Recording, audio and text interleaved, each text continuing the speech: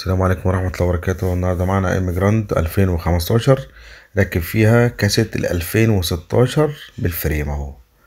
تمام؟ هنحوش الاتنين ال frame وال... والكاسيت. وهنركب frame تسعة بوصة.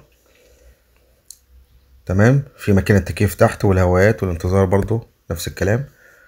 يعني العربية أساسا 2015 وعمل لها تعديل وركب كاسيت 2016 وهنحوش الكاسيت بال frame وهنركب شاشة تسعة بوصة أهو ده ال frame بتاعها. لازم أعمل معاينة قبل ما أركب أي حاجة أهو. قافل تمام.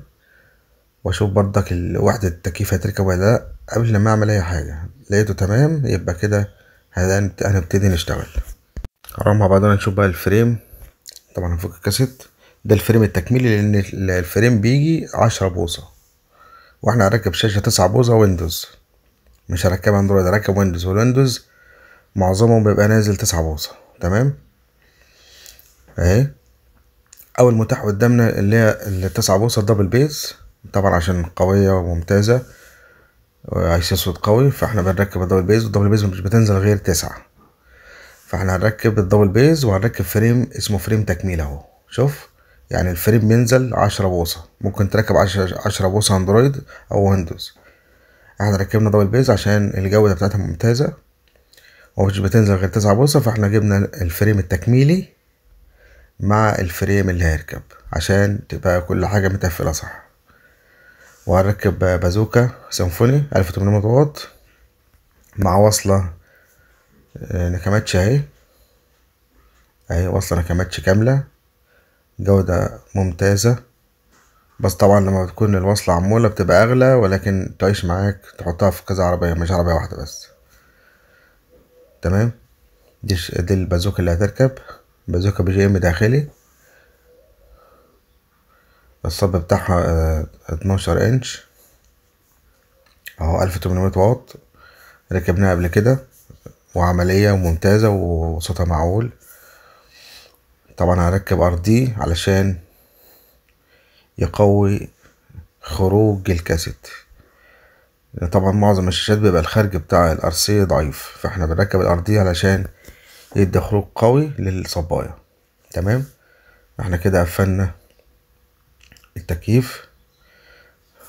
والانتظار قاعد مش ناقص غير ال- frame اللي بيبقى حوالين الهواية ده أهو. ال frame ده هنركبه فوق. ده الشكل هنا بعد بعد التركيب أهو. ركبنا وخلصنا ال frame كله التكييف بالهوايات بالانتظار. أهو ده الشكل النهائي حاجة محترمة. كده إحنا غيرنا شكل التابلو. مية وتمانين درجة اختلاف اختلاف فرق جامد بين الكاسيت العادي والشاشة تسعة بوصة. وعشان ما يكلفش اللي بيركب الشاشة مبلغ جامد فجبنا التسعة بوصة ال Windows مع frame تكميلي على ال frame الأصلي أهو. عم حماده number 1 الإدارة شطارة. الرئيس اللي ملوش رئيس number 1 في عالم الكاسيت. هنشوف مع بعضنا البازوكا ال 1800 السيمفوني. أهي 1800 واط Symphony. ب GM داخلي طبعا ركبناه قبل كده. صباية ممتازة. وعملية وبتوفر في السعر شوية لأنها فيها GM داخلي غير لما تجيب بازوكا و GM هتخش لك في ستة آلاف وكسور كمان. دي حوالي تعمل لها تلات آلاف ونص بال GM بتاعها. يعني فرق آه، الضعف ويجي معاها حزام عشان تربطها بيه أهو ده الحزام.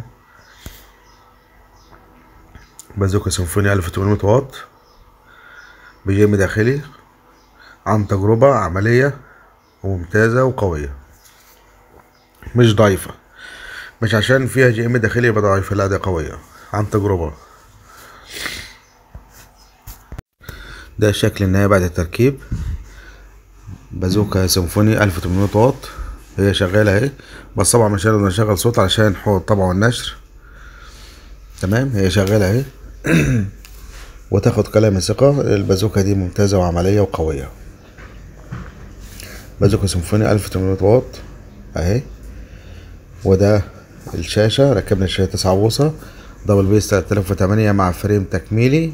زائد ال frame الأصلي أهو. غير شكل العربية 180 درجة أهو. Emgrand 2015 حاجة محترمة. كده نكون وصلنا لنهاية الفيديو ونشوفكم في فيديو جديد إن شاء الله مع شاشة جديدة أو sound جديد أو تعديل جديد. ويا ريت تتابعونا عشان نوصلكم كل جديد. ونشوفكم في فيديو جديد إن شاء الله. مع تحيات حمادة يا دي جي